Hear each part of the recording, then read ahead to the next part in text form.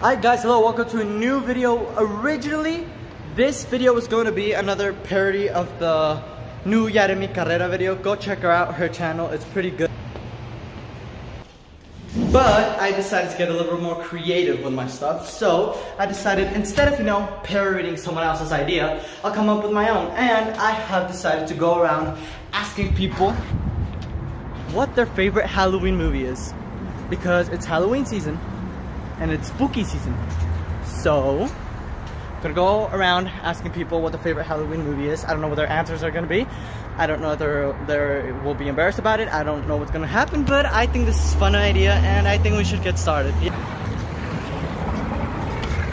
Alright, so here's a two shot, one kill or whatever it's called. Here you go. Yes, Hey, Dogga. he comes in quite a bit. Hi there. So this for a little project. What is your favorite Halloween movie? Ooh, uh, I'll go. Oh, Focus, Oh. Focus. Which Focus, one? Focus. Oh, oh, I know. Halloween Town. Halloween Town by far. I have never seen that in my life. You're young. Can I do half of a dog one for him to just have? I respected their um opinions, but um Hocus Pocus is fucking trash. What the fuck did she just fucking what the fuck? What is your favorite Halloween movie? Casper. Casper.